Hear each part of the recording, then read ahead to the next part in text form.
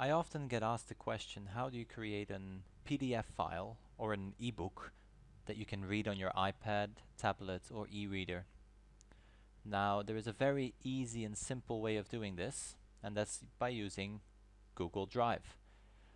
Start off by clicking on New and then click on Google Slides. Now a new presentation will open up.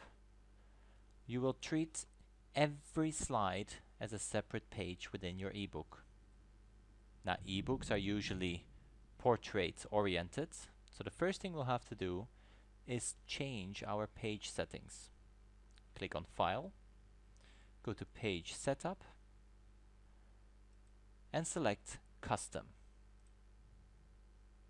We are going to set our page to 8.5 inches 8.5 times 11.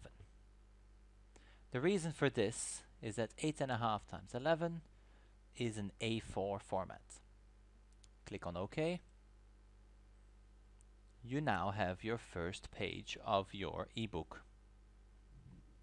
Add all your images, titles and information.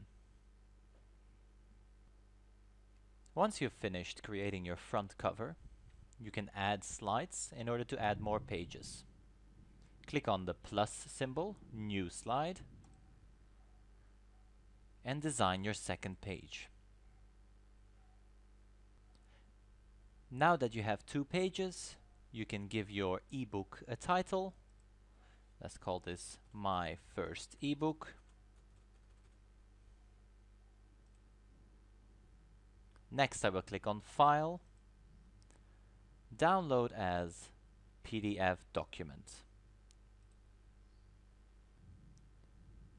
You now have a PDF you can easily share with yourself, email to yourself, or share with friends. And you can read this on any e-reader you like.